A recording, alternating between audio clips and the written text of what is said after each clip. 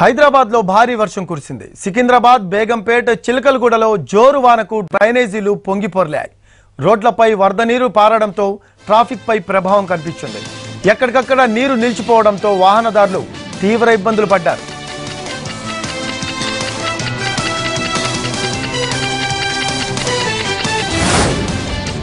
తెలంగాణ కొత్త సచివాలయ నిర్మాణానికి లైన్ క్లియర్ అయింది.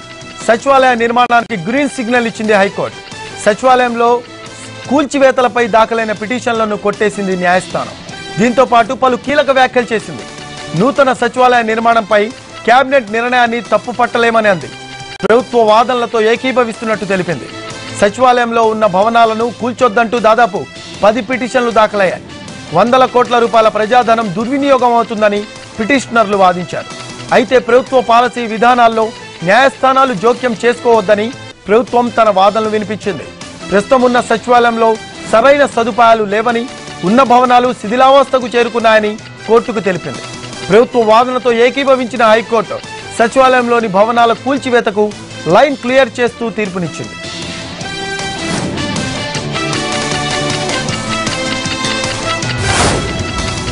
కరోనా మహమ్మారిని ధైర్యంగా ఎదుర్కోవాలని హైదరాబాద్ కమిషనర్ అంజనీ కుమార్ పోలీస్ సిబ్బందికి సూచించారు. కరోనా బారిన పడి రికవరీ అయిన నలభై ఆరు మంది పోలీస్ సిబ్బంది తిరిగి విధుల్లో చేరారు. వారిని విధుల్లోకి ఆహ్వానిస్తున్నందుకు చాలా ఆనందంగా ఉందన్నారు అంజనీ కుమార్. కరోనా వైరస్ను జయించిన రియల్ హీరోస్కు సెల్యూట్ అన్నారు సిపి.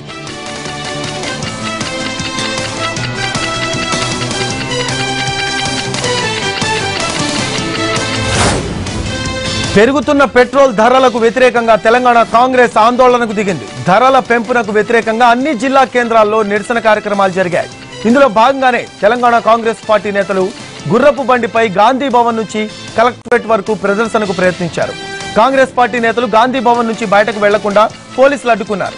అటు ఖమ్మంలో సిఎల్పి నేత భట్టి విక్రమార్క ఆధ్వర్యంలో ఆందోళన చేశారు.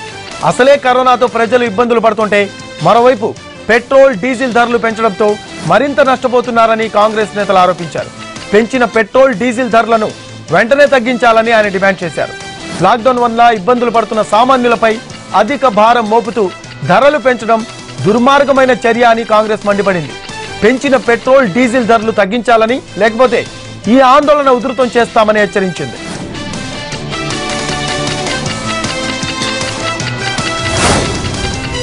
హరితహారానికి తెలంగాణ పోలీస్ అకాడమీ కొత్త భాష్యం చెప్పింది.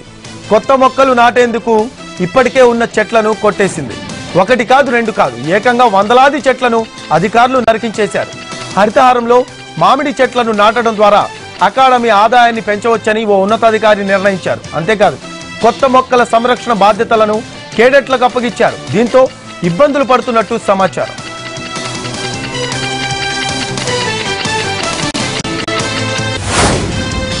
హైదరాబాద్ మల్కాజ్గిరిలో దారుణం చోటు చేసుకుంది. మంత్రాల పేరుతో మహిళపై అత్యాచారానికి పాల్పడ్డాడు ఓ వ్యక్తి. దయ్యం పట్టిందని మహిళ భర్తకు మాయమాటలు చెప్పిన మాంత్రికుడు ఆమెకు మత్తుమందు ఇచ్చి దారుణానికి పాల్పడ్డాడు. విషయం గ్రహించిన భార్య ఇంటికి వచ్చి భర్తకు విషయం చెప్పింది. అయితే భార్య మాటలను పట్టించుకోలేదు భర్త. దీంతో విసుగు చెందిన యువతి పోలీసులకు ఫిర్యాదు చేయడంతో మంత్రగాడిని అదుపులోకి తీసుకుని విచారిస్తున్నారు. కరోనాపై పోరాటాన్ని ముమ్మరం చేసింది టీటీడీ. శ్రీవారి దర్శనానికి వచ్చే భక్తులకు తప్పనిసరిగా కరోనా పరీక్షలు నిర్వహించాలని ఈవో సింఘాల ఆదేశాలిచ్చారు. తిరుమలలో విధులు నిర్వహించే సిబ్బందికి రోజుకు వంద మందికి కరోనా పరీక్షలు నిర్వహించాలని నిర్ణయించారు. ఉద్యోగులకు వారం రోజుల పాటు ఒకే ప్రదేశంలో విధులు కేటాయించాలని ఆదేశాలు జారీ చేశారు. శ్రీనివాసం అతిథి గృహాన్ని క్వారంటైన్ సెంటర్గా మార్చాలని నిర్ణయించారు. టీటీడీ సిబ్బంది కుటుంబ సభ్యుల కోసం మాధవం అతిథి గృహాన్ని క్వారంటైన్ సెంటర్గా మార్చారన్నారు. బోర్డ్స్ హాస్పిటల్లో కరోనా బాధితులకు వైద్యం అందించేందుకు ఏర్పాట్లు చేయనున్నారు.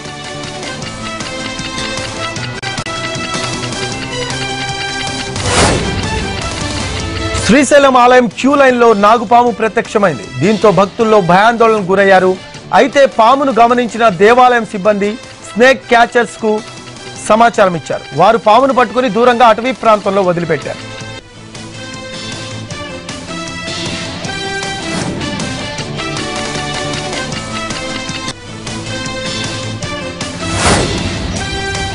పెంచిన పెట్రోల్ డీజిల్ ధరలు తగ్గించకుంటే దేశవ్యాప్త ఆందోళనను తప్పదని ఏపీపీసీసీ చీఫ్ శైలజనాథ్ హెచ్చరించారు.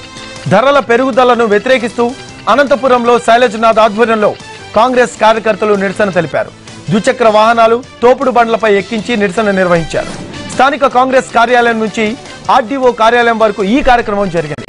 పరిపాలన అంటే వ్యాపారం కాదన్న సంగతిని ప్రధాని మోడీ గుర్తుంచుకోవాలని అన్నారు శైలజనాథ్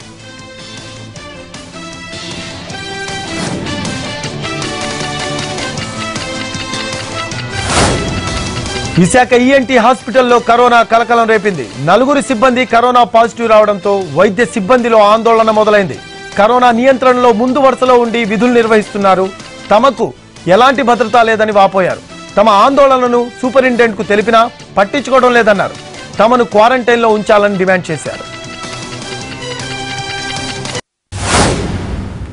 కరోనా కారణంగా క్రీడలన్నీ వాయిదా పట్టడంతో ఇన్ని రోజులు ఇళ్ళకే పరిమితమైన ఆటగాళ్ళు ఇప్పుడిప్పుడే బయటకు వస్తున్నారు. కొందరు తమ కార్యకలాపాలు మొదలుపెట్టగా మరికొందరు తిరిగి సాధన ప్రారంభించారు.